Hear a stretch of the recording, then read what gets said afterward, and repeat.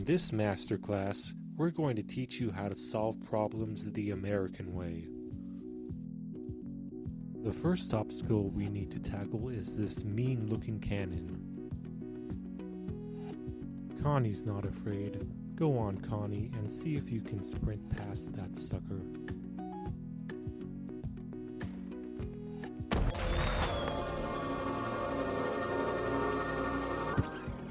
Well, that didn't work out.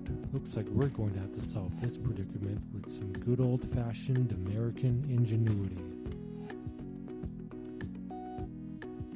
Now hold your horses. That cannon has a right to fire indiscriminately. Banning them would be unconstitutional. Let's try to find another way. The only way to stop a bad cannon is with a good cannon. Well done. Good always triumphs over evil. Now let's move on to the next test.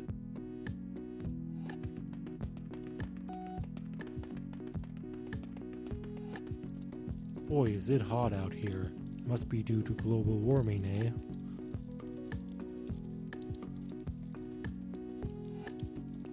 Lots of industries rely on fossil fuels to maintain a profit.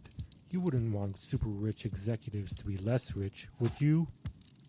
Of course not.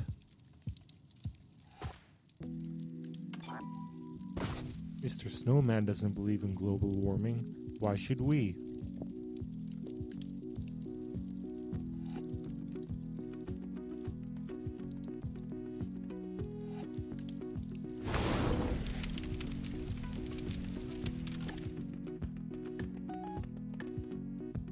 Connie must be thirsty.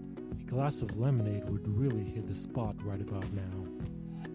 Unfortunately, she doesn't have any money to pay for it. Whatever will she do? All our money is being put into the military, so unnecessary things like education, infrastructure, and healthcare will have to take a back seat. But who needs education when we've got guns? Lots of guns.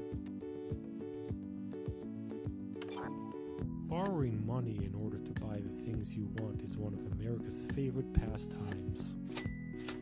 It's basically free money, and with money you can do anything. Taste that? That's the taste of freedom.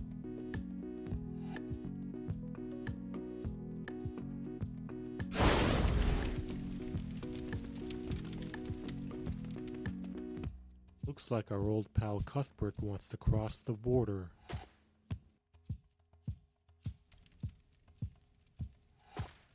Unfortunately, Cuthbert is a cube, and we don't take kindly to cubes here in America.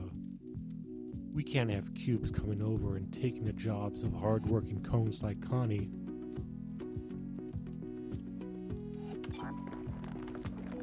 Building a wall is the best way to keep cubes out of our country.